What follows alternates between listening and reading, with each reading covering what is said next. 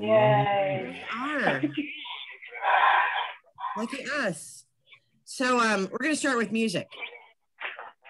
All right. So we're gonna listen to a song that I'm sure none of you have heard of. I want you to listen to the song and then I want you to tell me what it's about. All right.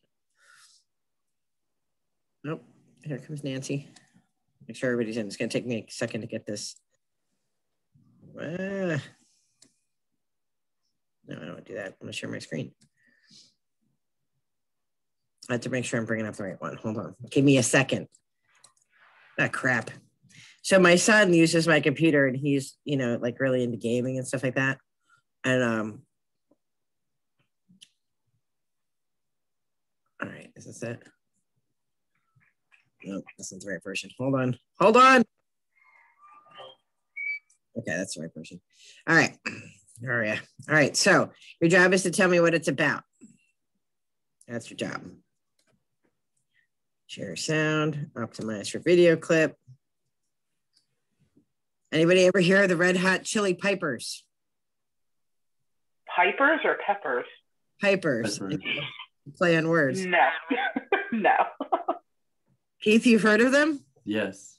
So one of my hidden talents is that I play the pipes. This is one of my favorite songs. Nice. So I like the meaning behind it. So we're gonna listen to it together and uh, see what it's about. See it? Can you hear it? Yes. This The second someone mentioned you were all alone, I could feel the trouble coursing through your veins. Now I know it's got a hold. Just a phone call left unanswered at me sparking up. These cigarettes won't stop me wondering where you are. Don't let go. Keep a hold. Cause if you look into the distance, there's a house upon the hill, guiding like a lighthouse. It's a place where you'll be safe to feel our grace. We've all made mistakes if you've lost your way. But I will leave the light on.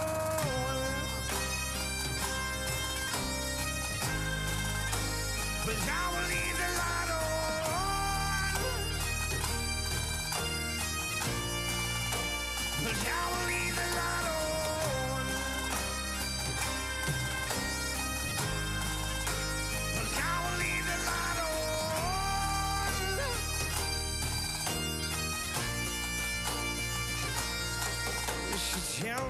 tell me what's been happening, what's on your mind. Lately, you've been searching for a darker place to hide. That's alright. But if you carry on abusing, you'll be robbed from us. I refuse to lose another friend I love. Just come home. Don't let go. Cause if you look into the distance, there's a house upon the hill, guiding like a lighthouse. It's a place where you'll be safe to feel our grace. We've all made mistakes if you've lost your way. But I will leave the light on.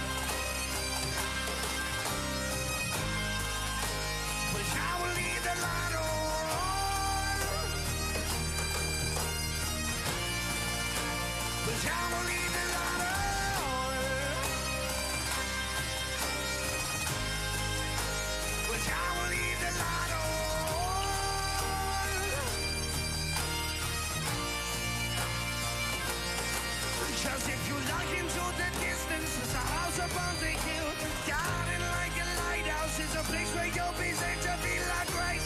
You've lost your way, if you've lost your way. Since I know you're down and out now, and I need you to be brave.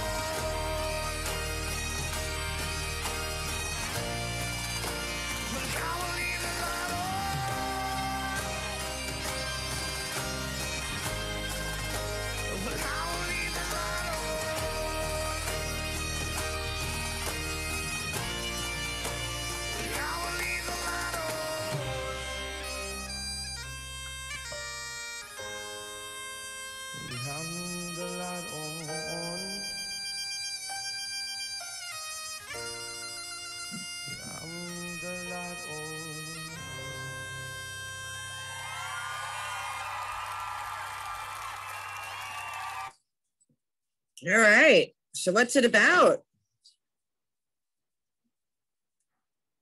Hold on, I gotta switch around screens. What's it about? Keith, what's it about? Isn't it like? No, this is one of the songs I haven't heard. So this is the first time I'm hearing this one. I, it was hard to find something that Keith hasn't heard. Yeah, so congratulations, you finally have conquered that mountain. Um, I'm guessing it's about like the person who's writing the song knows someone that's going through some sort of like distress or hard time, and it's kind of trying to be like, don't like don't do anything stupid, and I'll be here. You know, go to go to the house with the light on in a sense, and like use that as a guiding post in a way to kind of like refine direction. Okay, I'm kind of guessing off of that, but that's where I'm getting from that song. That's right, right? And, and what's the tone? Is it a happy song? It's more of like a somber and sad song. It's a somber and sad song. So you know, like it's when somebody's in trouble, right? Like loving and supporting those who are going through rough times. Liz. Now, in that version of it, they changed the lyrics. The one, the the lyric that would tell you exactly what the song is is um he said in this version, he says, I don't want to lose another person I love. But in the original lyrics is I don't want to lose another person to drugs, which is, you know, and uh, so this is about somebody who like the song itself is about somebody who overdosed and died. So he's trying to tell his other friends like you know like if you're you know if you're struggling or whatever like you can always come to me. You can i'm always here for you. My light's always on. Um so it's a powerful song isn't it? Right? So when we think about we think about literature and poetry right um which is which is music there's always a before story and an after story. So today we're going to be talking about that. We're going to be talking about symbols and we're going to be talking about language and the kind of language that people use. And we're going to finish up Maggie today. That's on our agenda. We're going to finish up Maggie and talk about regional languages, which is what um, what Stephen Crane uses to kind of get that feeling of the tenements and um, you know the house, you know, the the life and the social class communicated to the reader and we're going to talk about the symbols that he uses. So get out your versions of Maggie, boys and girls.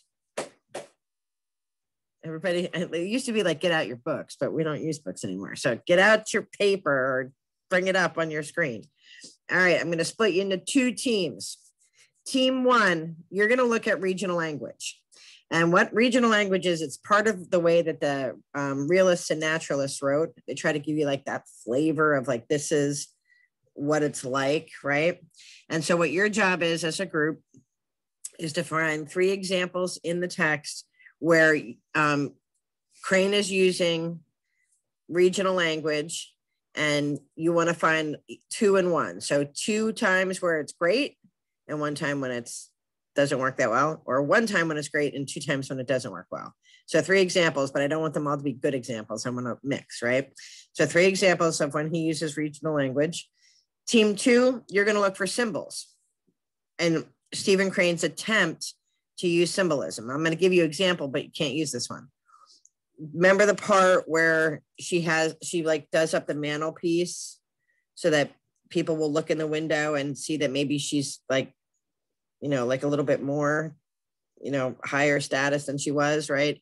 And then her mom ruins it right? So that's a symbol, like that mantelpiece is a symbol of a higher status, right? That, you know, like they live a little bit better than than their lauded station in life, right? So that's an example, but you can't use that one. right? So three examples. Make sure that you um, are prepared to talk about them when you bring them back. Okay.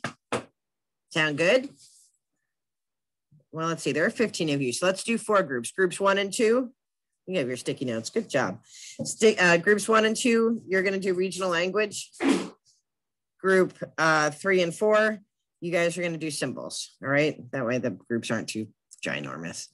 All right. Uh, crap. Uh, where's groups? How come I can't? How come I can't function today, Keith? I know. Nancy, why can't I function today? Because it's Monday morning at 7:30. I mean, yeah, or Yeah. now, but yeah, same idea. Oh, I forgot to ask you, did, did you like the song?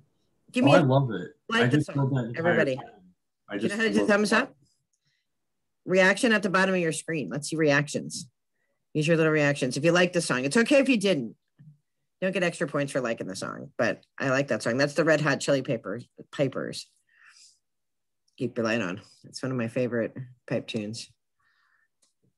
What a good way to wake up in the morning. I'm going to play bagpipe music for you every Monday morning now. Ha ha. All right, you're going into your groups. You have it is 743. You have till 8. Oh, yeah, the bagpipes do make it, Mac a thousand times better. Bagpipes make everything better. Just saying. But um, but it, it definitely adds to that like feeling in the song, right? So and it's funny because I learned the music for the pipe tune, right? But the music itself, the words also make that song. So in that song, that's like a perfect recipe. All right, here are your rooms. I'll see you in a minute.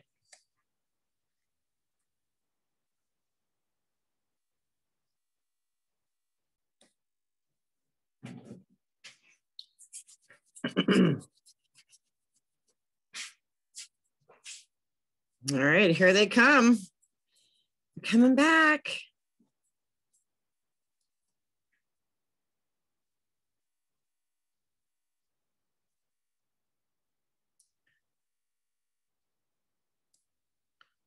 We're almost all here.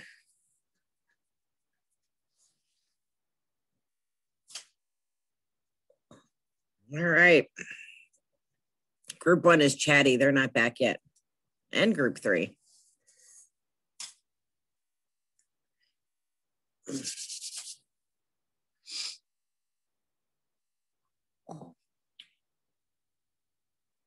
Here they come, because it's gonna kick them out in two seconds.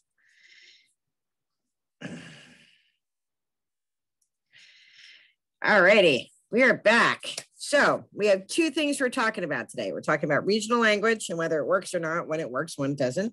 And we're talking about symbols, right? So uh, let's start with regional language. Group, spice it up. Group two, what are some examples of um, regional language that you guys found? That's Georgiana, Mac H, Nancy, and Nicole Rissmiller. Okay, so I found a bad one. And the line is on page 10 and it goes, I come off. I got this confused that old woman and it you'd be dirt to swipe it. See? So I don't know. For me, that seems kind of jumbled and very hard to understand. So I would consider it as one, I guess, a bad language or the regional language. Okay. And, and it's because you can't understand it. Like, Yeah, what does that line even mean? Right? exactly. like, what does the line actually mean? Oh, and so it's uh, almost like he's trying too hard to be regional, you know, like, and it's hard to understand. Okay, good. What's another uh, example? You're good or bad? I can go next. Okay. So they say this like all the time. It's what the hell you're looking at that he always like uses that. And that's like easy to understand. right. And so, like, that's like sort of slang, how Mhm. we say like all the time, or, you know, whatever we say in slang, you know, so they, he does use that a lot. Yeah. to get that, you know, that lower class, you know, like what the F are you looking at? Like that's how we would say it today, right? Okay. Good, good, good. What's your third example? Uh, this is kind of another example of slang. It's on page two. I was going to lick that Riley kid, and they all pitched on me. Now you can kind of tell from today's language that you know he was going to kick Riley's butt, but his friends kind of all you know left him high and dry. Okay. So again, sort of using the terms that you would use, right? Yeah, For that time period, like the slang from them. So the slang would be different for us. So sometimes regional language helps us because we understand like what it would sound like, right? Now, Mark Twain in Huck Finn and in um, uh, Tom Sawyer, he also uses regional language. But when he wrote, he used terms that we no longer use today, that we find offensive principally he uses the N word. Should his work be revised?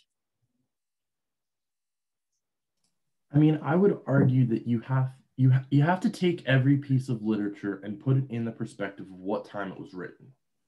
Because if you do that, you can then take all of Shakespeare and you can go and shred it and pretty much say this has too many sexual innuendos in it. This is inappropriate to read. This is, you know, should be for adults. But if we don't understand the base concept of what Shakespeare was writing, some of I hate to say it this way, but I'm pretty sure we're all guilty of having to read Shakespeare. Like if we were to Well, you'll be guilty that- again, just as a foreshadow, but carry on. Well, yeah, but like we use Shakespeare a lot, but if we're gonna go through, you know, using, you know, using inappropriate words or having what shouldn't like what's not appropriate in it, Shakespeare is the biggest, like, or I should say, one of the biggest contenders to, well, you shouldn't have any of his works, you know, without it being revised because all of his works have sexual innuendo jokes throughout them. All of them kind of make they make fun of certain things that some people are very proactive about. They also mock not only like certain religions, but they also mock governments and different styles of governments. But like Shakespeare was very good about making it so I don't know, like subliminal or so not subliminal. Um I'm trying to the word for like it's not obvious, but if you if you catch it, you'd realize it. Um he pretty much he made them so hidden that nobody catches them immediately. But if you were to really analyze it, his entire stories should at the same point should get revised if we're going to go through that. You know, Mark Twain used the N word throughout his stories. I think that we need to we need to look at each piece of writing at the time period it was in order to not only better appreciate it, but also to not lose all of its meaning because a lot of Shakespeare, he's calling out different characters by calling them a bastard, by calling them a, um, I forget what some of the other words, but like he uses different examples of like, oh, are you um, one of Lady M's assistants? Lady M in medieval history is like the seduct, like one of the seductresses. So he's pretty much saying, oh, are you a, you know, are you a hoe or are you a seductress type of thing? So like he does it very like nonchalantly but if we're gonna if we're gonna start picking on you know mark twain you might as well just go through all of shakespeare and be like no inappropriate get rid of it from the system because that's all it is The, the censorship. So what was the big, what's the big censorship story from this past week? What happened? Who knows? i'm out on that one All right. How many of you read Dr. Seuss as a child?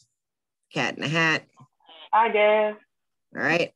So the the foundation that owns the copyright, right? So uh, Dr. Seuss, his family or whoever that is, they decided that they were going to stop publication on four of his books. Now, three of them I had never heard of. My kids had all of the like popular Dr. Seuss books. We had a stack of them, um, but the one that was in it was Mulberry Street. That's the one that my kids have read. Google that and see how much you can buy it for now because it's like $900 now. My kid's like, I'll sell it. I'll buy a car. I'm like, no, you're not selling it. It'll be worth more later.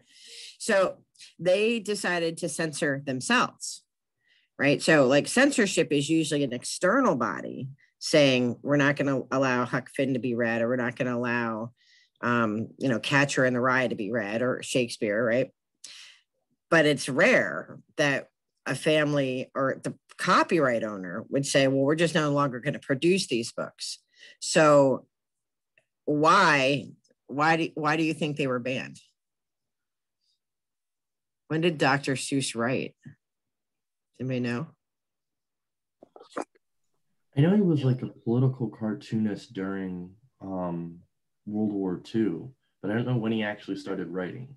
That's but that's what he's being banned for. So in his some of his those four now I don't I, I had I told my kid to find Mulberry Street because I I mean we, I read to them as a bunch of when they were kids and I don't remember anything in it that was racist but um but they say there's a lot of anti um, Japanese imagery in the comics and stuff.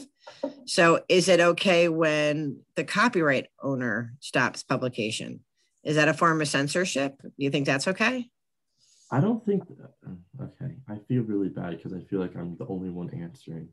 But I don't think that's technically like okay, I think there's a difference between censorship and kind of like self-realization and trying to absolve like absolve is a pretty big word for this, but trying to make make amends for a mistake. If the copyright company itself is doing that, it might be because they realized what was wrong with it and are trying to for right now they're going to take it away in order to come up with a way to make it less offensive where i think censorship is more like the copyright company doesn't want to and whatever the third party source is is stepping in and saying it must be changed Okay. What do you think, But- Maya? Do you think that's that's right? Do you think it's okay to self-censor? I'm just gonna call on people because I know they're napping over there. Censorship is more forced, Georgiana. Yeah, so I think you're right, Keith. I think like censorship is definitely third party. What do you think, Nancy? Honestly, I wanted to talk about like what Keith said earlier about looking at the the literature as it is in its time. Sure, that's something, but really there has to be a choice for students to read some books and some other books not cuz we all know what's going on in our day now, okay? And some literature is offensive, and that's why sometimes having it censored or pro- not producing those books anymore happen be it for like you know something else or actually something offensive but yeah i think that books old books i don't like shakespeare myself to be honest uh and You're set made for failure, boys and girls. Go on. yeah i hated him when i was in high school because i was obligated to read him and read about him. And i i think that's just forcing the student to do something they don't want to do and also going against their will and stuff. So yeah if he said the n word in his book we should not read that book or have the choice of not reading that book. That's it. It's as simple as that. Anybody disagree or agree? I disagree. Who's that? Who's speaking? Nicole. Nic- Which one, Nicole? Okay. Go ahead. Go ahead, Nicole. It I disagree because then students can just say that, oh, I don't want to do this because it has something in it. Every student's going to do that because no student really wants to go and do schoolwork if they don't want to. Come on, don't don't break my dream here. I'm just saying, I'm sorry. Like no, no, general, no, no. I, I, in I- high I- school, Yep. students aren't like a lot of students don't like Shakespeare because they just don't want to do it. My entire English class didn't want to do it, and then we read it and we all loved it. Is there a value in being offended?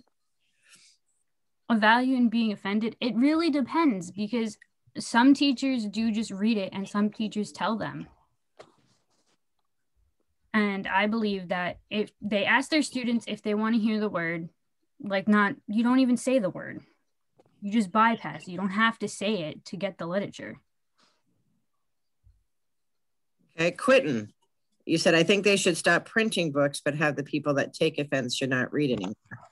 Wait, what do you mean? I mean, like, so some. I don't think books should be banned at all. I think, okay, yeah, some books are offensive stuff, but for those people that take offense, I think they should just kind of turn like a blind eye. I mean, it's literature. It was printed before so why ban it and let other people still read it and get knowledge from it so that they can still enjoy it, even though if other people don't like it. You know what I mean? Okay. So when I was a young Padawan, like many of you, um, the big thing in my high school was um, I know this is 100 years ago, we, but we did have paper. We weren't using stone tablets still. Um, the Anarchist's Cookbook. Does anybody know what that is? Heard of it. Okay, so the Anarchist Cookbook was now remember that I went to school before all the school shootings. All right, so that wasn't a thing that happened while I was a young person. That happened you know, since then. So the Anarchist Cookbook was a book that had how to make like pipe bombs and stuff. And like, you know, all the kids that I hung out with, they were all like, oh, I want this book. Not a single one of them made pipe bombs. They just wanted the book, right? And the book is banned. Should those kind of books be banned? I don't think so. What think? Glenn. Glenn's so quiet this morning. Glenn, what do you think? Should the anarchist cookbook be banned?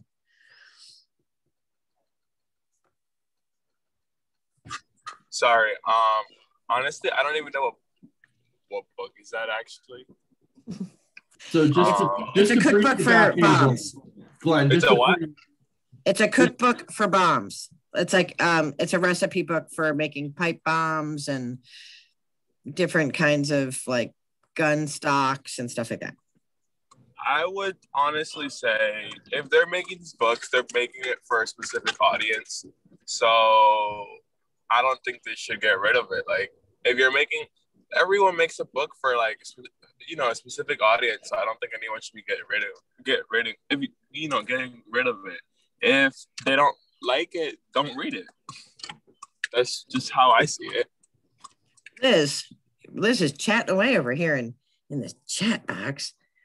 Are you able to talk, Liz? I don't know if you're working or not. It is a difficult topic. I am working. I'm sorry. That's okay. Censorship is a is is difficult to talk about because you can go down a rabbit hole. You can say, you know, this this shouldn't be this shouldn't be censored and that shouldn't be censored. What about Mein Kampf? First of all, what is Mein Kampf? For those who may not know, what is that? Isn't that Hitler's autobiography and it's my struggle, or am I thinking of the wrong thing? No, it's it's by Hitler and it's his outline for what he wanted to do to the Jewish population, Oh, right? So should that be banned? I don't think so because people can just Google it anyways. So it's not like you stopping the spread of information. If someone really wants to look it up, they can look it up. Okay. So and there's this, I think I think we um you know I I think people get more offended now. I, or it seems that way. Maybe that's not true. Maybe people always got offended, right? And part of your homework is going to be looking at how things have changed over time. Um, it feels like to me that people get more offended, and um, there has to be a balance between. I had I teach at the sales also, and I've been teaching there for a thousand years and this just happened two weeks ago. Um, one of the assignments um, we read, uh, and you, read you read Kate Chopin, the one that wrote. Uh, um, uh, what did we read from her? We read something from her in the beginning. Kate Chopin, and then we and then uh, they read Charlotte Perkins Gilman, and that's the where the husband like doesn't die, and the lady ten croaks, right? So we read that, and they were they had to do an assignment and one of the students wrote and he refused to do the assignment.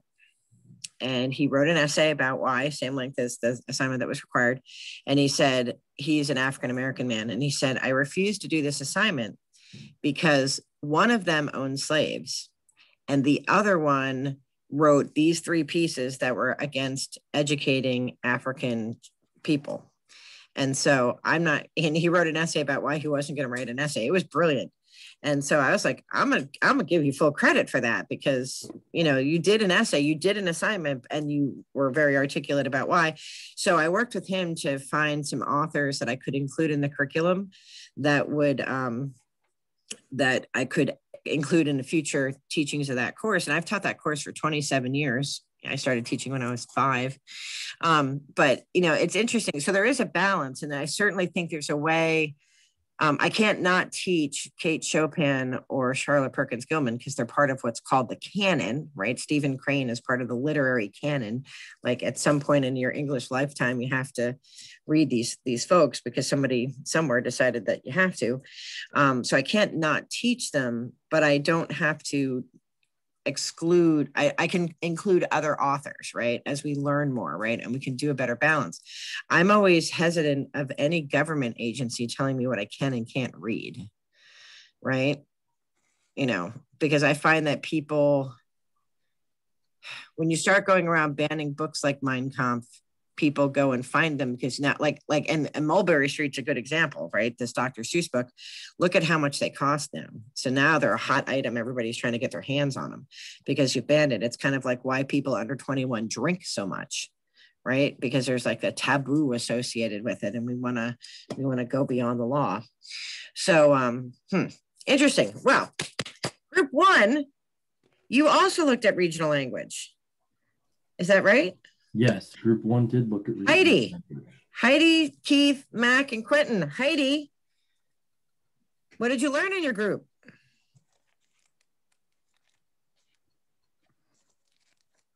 I know the answer to this question, by the way. Heidi didn't sign into her group. So I caution you. One of the reasons we use groups is so that I can tell who's paying attention and who's walked away from his or her computer. So if your group had to rely on you to report out, they'd be screwed right now because you never went to your group. Be sure that if you're here, that you're actually here. And if you're not here, just sign out. All right, group one, what'd you come up with? So we had a couple of different examples. Um, I'm not gonna lie to you, my group got the wrong impression of what you meant by a good example versus a bad example. That's all right.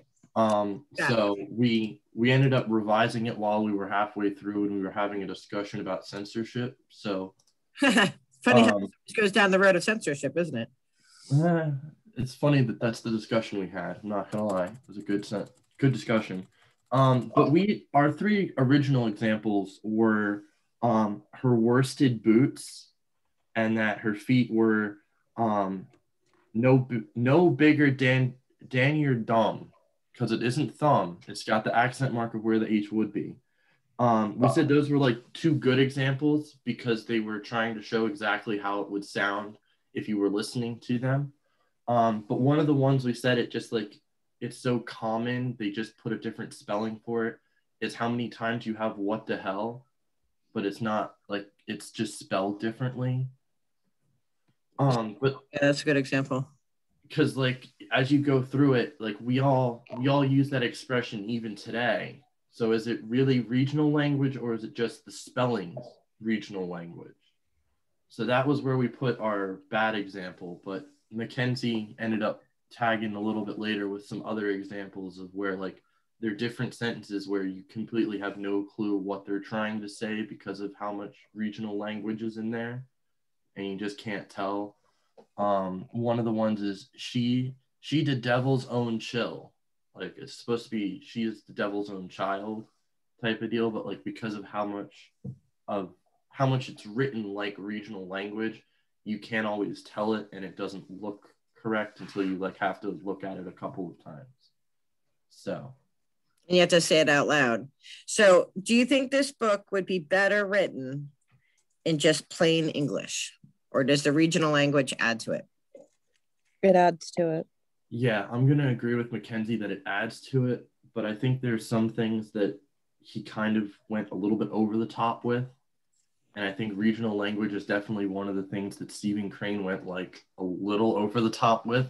Like I could understand if he had like a couple of the characters in the regional language to make sure that you understood that there was regional language, but having having lines where you can't tell what it is without knowing how the regional language works kind of defeats the purpose because then the person reading it has to stop and try to figure out what you're trying to say with sometimes it's by looking up what you're trying to say It's a lot of work, right? Like Yeah. who wants to do that kind of work? And part of the problem is that he he is not a member of that region, right? Right. And Mark Twain, same thing. He's not. I mean, Mark Twain at least lived in the South, right? And at least he came from he he was poor himself growing up, and he lived he lived along the Mississippi, and um and he you know interacted with um African American families, right? So at least he had like a basis for how the language you know transpired between Jim and Huck and, and, and the different characters, right? But Stephen Crane is not Irish and he doesn't live in the Bowery, right? So he's kind of like making this up. So when we talk about censorship and we talk about writing, can a person outside of an ethnic group write about another ethnic group? do sh- should Stephen Crane be writing? Because you know I'm going to ask the next question about the next group, right? So should Stephen Crane be able to write about Irish immigrants even though he is not a poor Irish immigrant? I believe that he was allowed to write about it, but through writing through naturalism, he probably could have been misunderstood by the community a little bit. Okay.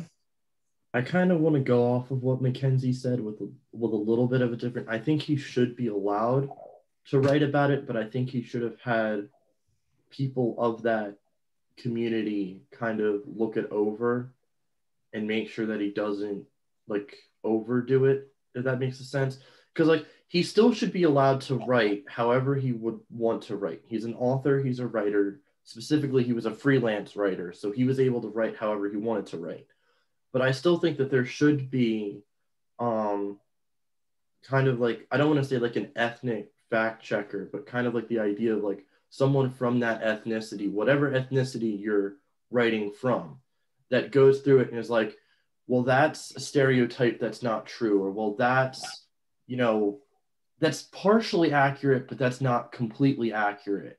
And that's where like I kind of I kind of feel like before we start saying that like one person should be able to write and another person shouldn't be able to write about different like not even stereotypes but different uh, ethnicities, we should have someone of that ethnicity read it and make sure that they don't find any offense to it or anything wrong with it, which kind of weaves back into the censorship discussion of where someone from that ethnicity should be able to go through it and be like, I'm okay with reading this. This isn't so, so the, the next question then becomes like, is it okay, Emily Perez, for a white person to write a first person narrative of a black person?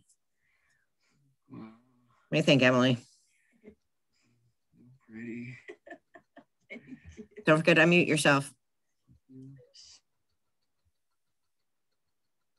I think Emily went back to bed. Oh, okay, that's okay. You can type. And we'll ask, uh, let's see, who hasn't talked yet? I'll make sure everybody's awake. Georgiana, have you talked? Heidi hasn't talked. I think Heidi's not. There's Heidi. Maybe not. Nicole Traxler, what do you think? Should a white person be able to write a first person narrative of a black person's experience? No, because they're not going to have the experience. Like you should only well, it's not that they can't write it like they can if they really wanted to, but if they're going to do it, make sure they get everything right so that they okay so why is the question different when we talk about stephen crane? He's white but he's not irish. So why is it okay for him to write first person narrative of the irish experience but not okay for you know what I'm asking here? I'm probably not asking. Yeah, I get it. I think it's because people more they'd rather look at skin color than their actual ethnic background. Because someone who's American can write about Italian food because it's not hard to find Italian food. But if if a white person were to write about African American food, people would get offended. They rather look at color than actual race. Interesting. And that's an interesting discussion that we're going to talk more about in the readings that we do for next week. So, um, so, um, you know, we writing is tricky, right? Reading and writing is tricky because it brings up a lot of emotions. And when we start drilling down and thinking about um, what goes into a work, right? What goes into making a work. Um, the regional language is definitely a, a different sort of lens that we he's using to write it. And we have to think about whether we trust the author whether we trust the experience the author puts in front of us. Um, what are some of the symbols that he's using? Are there any symbols group three that's emily perez maya and nicole traxler? What symbols does he use to get his points across? What do they symbolize? Can you repeat the question? I only heard half of it. All right. So what symbols is he using in in uh, the your group talked about symbols, right? Yeah. I mean, there was um I couldn't find any because I just was bad at looking, but um our group found two. and it was about one with the broken furniture and how it breaks from them fighting and maggie is always putting it back together which symbolizes her care like her character hmm um, and then the other one was her first date with pete and we didn't really get to talk much about that one So the chair, like the broken furniture, and and like that's a really good example because she is always the one who has to put it back together until she is the broken furniture, right? Mhm. There's nobody to put her back together. So that's a good symbol. Good good choice. Any other choices in your group? Symbol symbolism is hard in in, in Maggie. So Mhm. good job. Another one that was just- the theater was a symbol of where she went on her first date with Pete. That was the other one we got. and theater is is a different kind of life right so Mhm. she's seeing into this other kind of life and she wants you know she wants her life to be different but it isn't like theater it doesn't get to change yeah good good good good and and you know she's watching the lives of others so then she has this crazy notion that she could perhaps change her own life right route four which are only two of you left liz and mary um Um, for our group, it was so I put well, he mentioned the color imagery such as um different spectrums of red, um, flaming scarlet, red, um, symbolize uh, promiscuity and being taint, uh, tainted. And then also for the tenement building, um, it was a very poor, very poor residence, and the Johnson family lives in these um the Johnson um, family lives in these buildings. I think the last one is animal in, uh, insects. So the animals and insects are fighting for life and survival. In Crane's view, humans are no better. Interesting. Hmm. Animals and insects. I never thought about that. Hmm. That's interesting. The animals and insects. I have to think about that more. So some works use a lot of symbols. Some other works don't use a lot of symbolism. Um, you know, when you look at like Nathaniel Hawthorne, right? Scarlet Letter, stuff like that. Um, he uses a lot of symbolism. Um, Stephen Crane's big technique here is a regional language to give you that flavor and feeling of, you know, the poverty and the misery and, you know, the determination of what's going to happen no matter how hard um, Maggie tries. Did we like this little novella? Did we like it or did it suck? You can be honest. I liked it. I I enjoyed liked it. it. It was good. It was good without being overly gritty. Yeah. Yeah. It wasn't long either, which is It wasn't that the the main thing was like I read it the first time, didn't really understand it or appreciate it, read it a second time to get like a better idea when I was doing the presentation.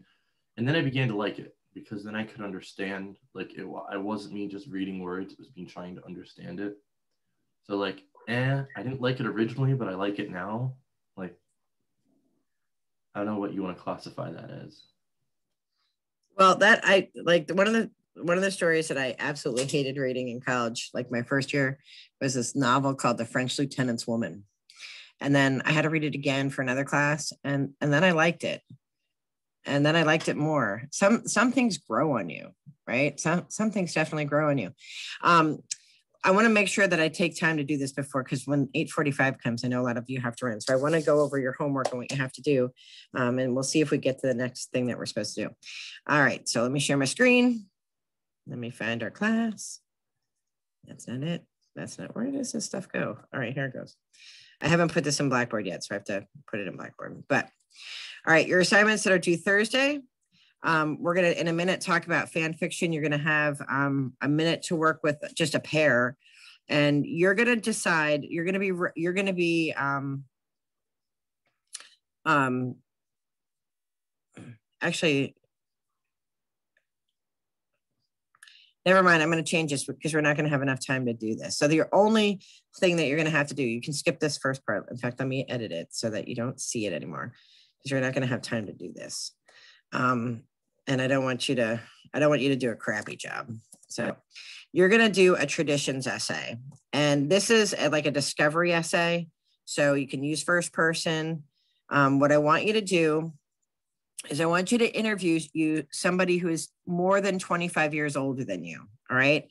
It can be a parent, it can be a neighbor, it can be somebody at work, anybody you want. And you want to do a comparison to what their life was like compared to what your life is like. So some of the things that we were talking about, right? Like when I was growing up, you know, people didn't seem to get as offended. And I feel like some of you are going to hear that. Um, there seemed to be a little bit more resilience. People seem to get a little less upset. People could disagree more and not, you know, get derailed. Um, you know and then you know but social media has kind of changed that a little bit right and and even how we consume media right like it used to be that if i wanted to watch you know mash that's a show i would have to sit on a couch at seven o'clock at night on a tuesday to watch it. I couldn't record it. I had like if i wanted to see it i had to go at seven o'clock and sit down and watch it right? Now you pick when you want to watch stuff right? Like because you know you you purchase it or whatever. So things are very different in how we get things how we communicate things. So um, you want to find out what life was like what was popular what was going on politically and really you know dig into what is different between then and now. To keep you honest i would like you to audio record it. There are a ton of free apps that record audio for your phone. You're going to be turning in the recording um, so that I know that you did it. Um, and then you're going to write an essay in first person. I'm not worried about, I am worried about grammar mechanics because I want you to know how to write in the English language, but I'm really more concerned about content for this because it's going to make a difference for the stories that we're reading next. We're reading four stories. Hold on, I have to move this. so many screens. How come I can't move this? There we go. All right. So we're reading four stories for next week. A Good Man is Hard to Find and Good Country People are by Flannery O'Connor. Rose for Emily and Barn Burning are by William Faulkner. And we're going to be talking about generations and how old generation, new generation, and sort of the conflicts that always happen between generations, right? So I'm gener- Generation X. You all are, uh, I think, are you guys all millennials? Is that what they call you? I don't know. What's the age gap for millennials? Sorry? Oh, I didn't hear. I think millennials like 24 and over, and Gen Z is like 23 and under, but I'm not sure. Okay. Thank you. That's what I was trying to ask. so we're going to be talking about generational differences and how things change from generation to generation. And that's um, kind of what we're going into. Let me stop sharing here for a minute so we can share something else. So and the other thing that we're going to start delving into is doing our own little bit of fan fiction. So just looking ahead, hold on. Ugh, I really hate Zoom sometimes because I can't bring back my screen. Why can I? What do you see right now? Do you see me? Or what do you see? I have no idea. Wait, Your screen mirrored screen with a black box over it. Yeah, we've got a couple of black boxes, but we've got your screen right now. Like, do you see like so we have course arc, dashboard, course tools, and then there's this big black box that covers up part of it. There you go. Now we just lost. There we go. Completely. So we're going to be talking about um, pre and post stories, and so as you're reading this week, you're gonna we're gonna be talking about all four of these these short stories next time. But I want you to like find which of the four that you love the most, right? Really become an expert in that one that you love the most, because uh, we're going to be trying our hands at writing pre and post fiction. What happens before the story started that got our characters in the place they're at? And or what happens after we leave the story, right? So we're going to be working um, towards doing our own choose your own adventure. Uh, you're going to be working in little groups. You're going to be making choose your own adventures um, with a piece of literature that I've not yet picked, but um, it'll be a, like a short story, and then you guys will have at the end like sort of like next steps what happens next right? So um, but before we do that we have to sort of get in that mindset of what happens before the novel. So let's practice. What happened before maggie starts? What what's going on in maggie's world before we show up on page one? I mean there's probably some tension between mom dad and maggie um, there's probably some the the fight in the beginning, the first fight that we have where um is it Jimmy gets hurt? There's probably like the build up to that fight that we have we don't get in the story. There's probably some interactions that we don't understand of the other characters that would give us better detail of why each character acts the way they do to each other. Um, Okay. But we've got plenty of kind of backstory of getting to know Maggie's entire family. Okay. So, what was her day like the day before we show up? What do you think her day was like? Uh, probably not good. Uh, it's referenced that her dad is kind of a brute in the book, so maybe her dad, you know, kind of had an escapade and was, you know, going off on everybody. And the mom is a drunk, so she was probably drinking and, you know, on her behind, not doing anything, you know, valuable. And her brother was probably out fighting or probably out, you know, hanging around with the wrong crew.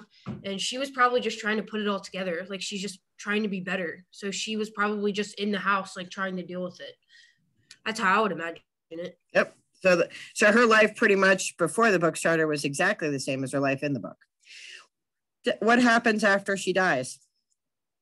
At the end, what's the next day look like?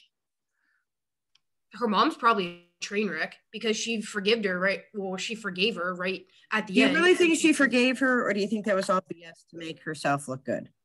Um, I feel like it was more, yeah, it was more self-absorbed. It was more to make herself look good. But I mean, if you really look at people who are, you know, addicted to any sort of thing, like any, you know, drugs or alcohol, I feel like it, like, I feel like in a way it would have eventually hit her because she lost another one of her kids.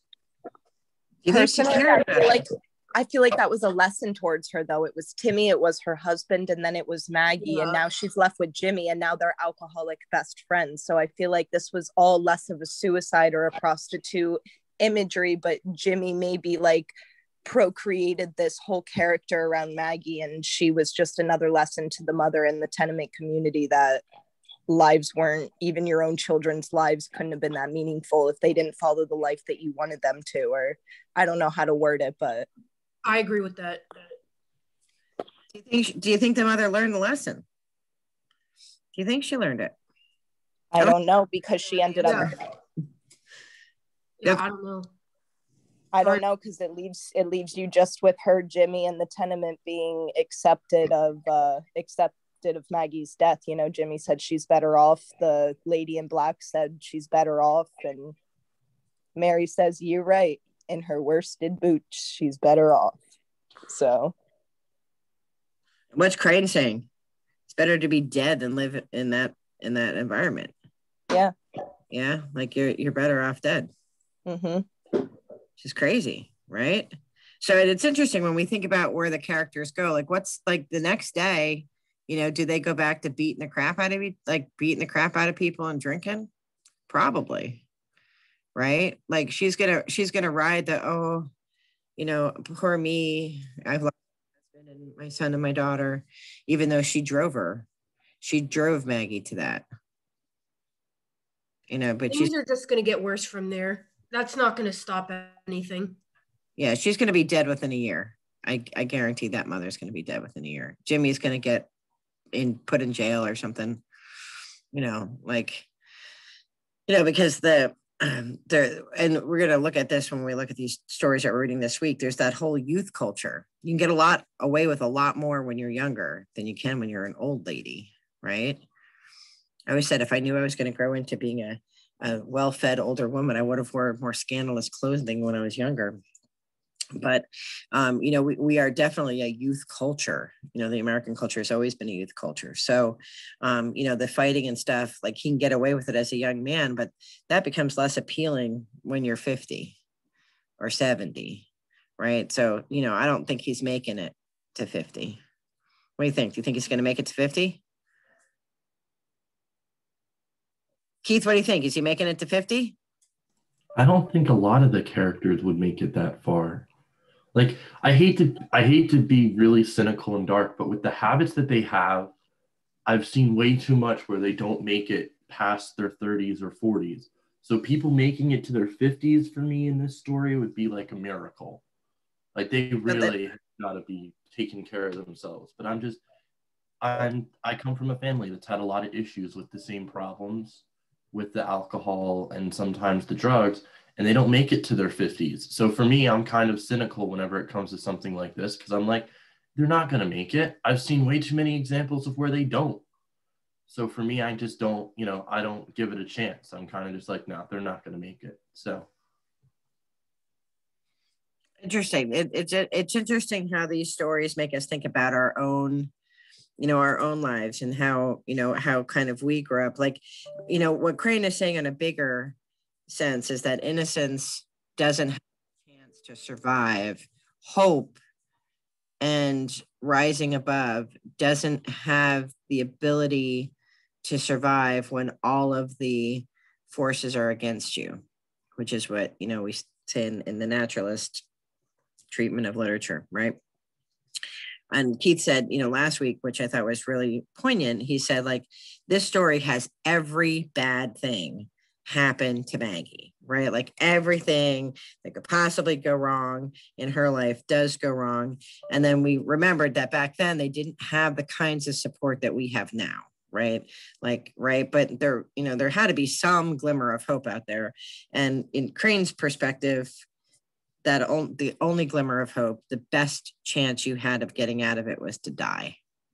How dismal is that?